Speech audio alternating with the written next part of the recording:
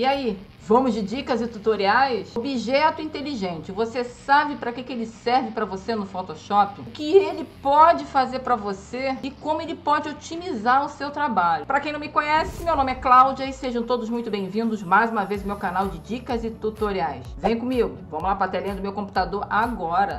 Tô com essa imagem aqui em alta resolução, peguei ela lá no site da FreePic, completamente gratuita, e o que eu quero mostrar para vocês é o seguinte, tá? Eu abri um arquivo novo, tá? Coloquei aqui nesse tamanho aqui e ela, as duas estão aqui. Uma tá convertida em objeto inteligente e a outra tá do jeitinho que ela veio do site. Como é que eu converti ela em objeto inteligente primeiro, né?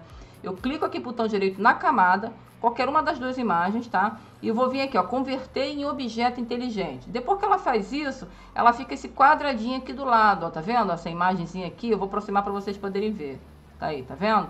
Ela fica desse jeito. E a outra tá normal, uma camada simples, sem nada, tá? E que eu vou fazer? Eu vou juntar as duas camadas, Ctrl, tá? Mesclei, mesclei não, é, juntei as duas camadas e vou dar um Ctrl T e vou diminuir o máximo possível essa imagem. Vocês sabem que quanto mais a gente mexe na imagem, joga filtro, efeito, usa pincel, diminui, aumenta, ela, ela vai perdendo, vai perdendo a resolução, tá? Ela vai mexendo muito com a foto. Bom, diminuir as duas imagens do mesmo tamanho, tudo certinho. Agora vou aumentar de novo. Vou dar um Ctrl T e vou voltar ela para o tamanho que ela estava, ó. Coloquei aqui no tamanho todo, vou dar um Enter, então clico aqui, ó, e ela sai aquela seleção do, do Ctrl T. Já dá para perceber que o cachorrinho daqui, ó, já perdeu bastante resolução, tá vendo? Como é que ele está bem desfocado. E o nosso outro, que está em objeto inteligente, não perdeu resolução nenhuma. Deixa eu dar um Ctrl Zero para voltar à imagem normal tá certinho, tá vendo? O quanto é importante vocês usarem, saber usar o objeto inteligente. Essa é uma maneira que a gente pode usar, pode esticar à vontade, usar filtros. Eu vou mostrar para vocês também como é que a gente faz isso. Agora aqui vou mostrar para vocês, ó, caso a gente tivesse que utilizar um filtro. Deixa eu pegar outra imagem aqui. Pegar essa imagem aqui do carro, vamos supor que a gente está utilizando essa imagem, eu quero fazer um efeito ali como se o pneu estivesse é, rodando né, em velocidade. Como é que a gente vai fazer isso? Bom, eu vou vir primeiro aqui, ó, vou clicar com o botão direito, tá? Vou botar converter em objeto inteligente, ele já vai converter para mim aqui em objeto. Tá vendo lá? Ó, já fez aquela camadinha ali do lado, aquele quadradinho ali do lado, já está significando que ele está em objeto inteligente, tá?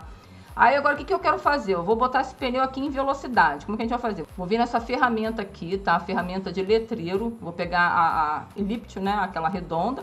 Vou segurar o Shift lá no teclado. Vou clicar e arrastar, ó, ele vai sair um círculo perfeito, sai redondinho acertei ali direitinho. Agora a gente vai vir fazer aqui, ó, filtro.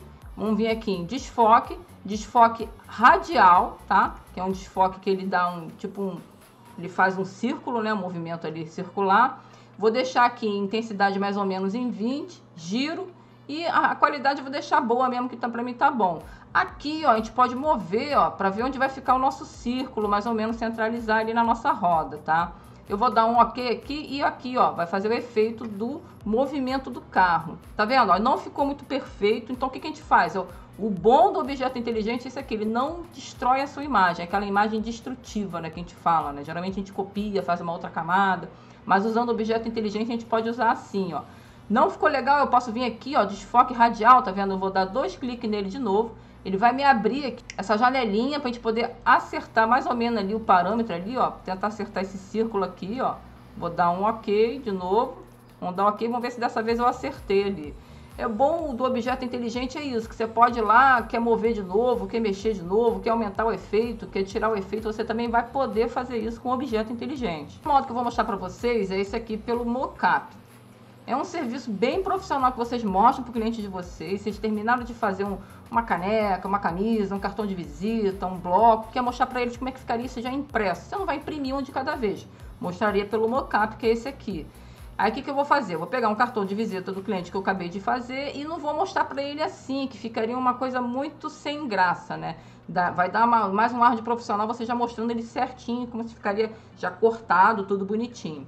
Aí vocês vão vir, vão pegar a camada onde está esse arquivo aqui, que é o cartãozinho, vai dar dois cliques dentro do quadradinho, ele vai abrir, tá vendo? Como se fosse o cartão de visita já pronto mesmo, ó.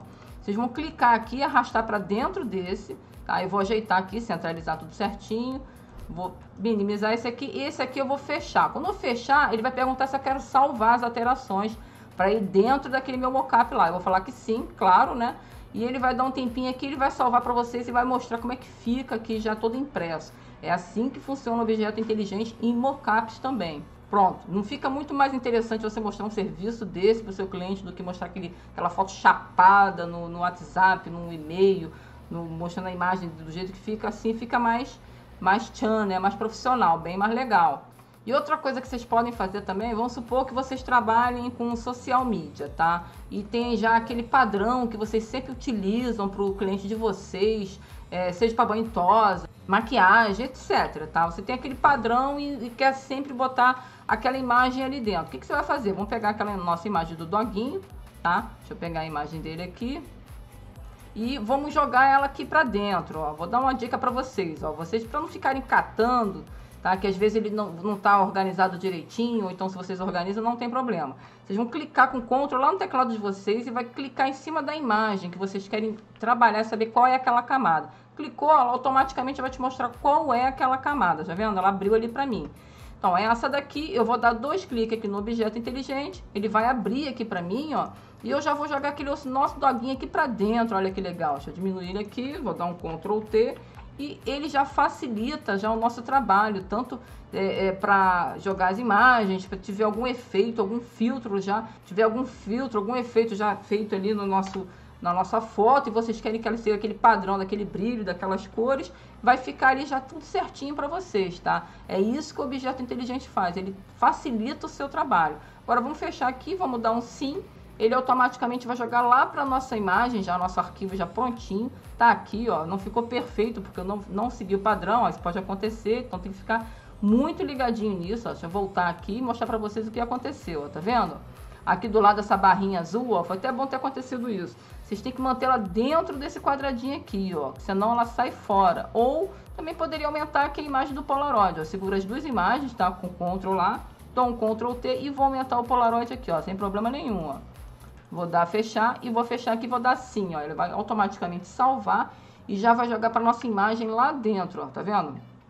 Tá tudo perfeitinho, tá vendo? Aí ela já segue um padrão, é para isso que serve o objeto inteligente, para facilitar a vida de vocês e não destruir aquela imagem que vocês pegou original, que está em alta resolução e não quer que ela destrua. Usando o objeto inteligente, eu garanto para vocês que vocês vão gostar e vão começar a trabalhar desse jeito a partir de hoje, eu tenho certeza disso. E aproveitando, eu quero deixar uma dica para vocês aqui de ouro, tá? Eu já falei em alguns outros vídeos meus aí, mas eu quero mostrar para vocês que onde eu consegui essas imagens, esses arquivos prontos aqui, ele vem praticamente pronto, ele vem tudo em camadinha, tudo separadinho, escrito, tá vendo? Tudo certinho.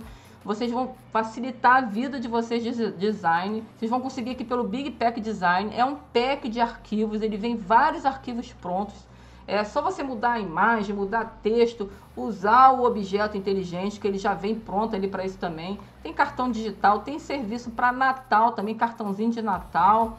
E mockups, ele vem vários mockups aqui dentro também, ó. E outra coisa muito interessante que ele te dá, ele te disponibiliza, são os programas, ó. Ele vem programas aqui, ó.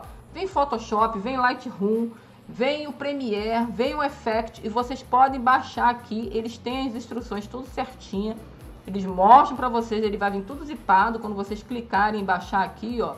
Ó, vou baixar esse aqui, ó. Vou clicar nele, ele vai começar a baixar para mim aqui e ele vai baixar em INRA, é aquele aqueles monte de livrinho que eu já mostrei para vocês como é que faz. Depois que vocês extraem ele, salva, você, ele vem uma instrução mostrando como é que instala esses programas. Ele já vem pré-ativado, ou seja, vocês não podem, não precisa colocar número de serial, nada ali. É um programa completo, vocês vão gostar, eu tenho certeza. E para quem não tem os programas e quer começar a trabalhar como design, aprender a mexer no Photoshop, em Premiere, etc., vocês vão gostar muito. Eu vou deixar no primeiro link da descrição, tá? O Big Pack Design. Eu tenho certeza que vocês vão gostar. Dá uma olhadinha no site lá e dá uma cutucada e vê o que, que vocês acham. Agora diz aí, o que vocês acharam do objeto inteligente? Já conhecia? Se não, deixa aí nos comentários. Fala que tem outros modos que você já conhecia, não conhecia, que foi legal esse vídeo para vocês. Se foi, compartilha para quem está precisando, que isso vai me ajudar demais aqui. E eu tenho certeza que ajudou vocês também, tá, gente? Bom, eu vou ficando por aqui. Um forte abraço, até a próxima e valeu!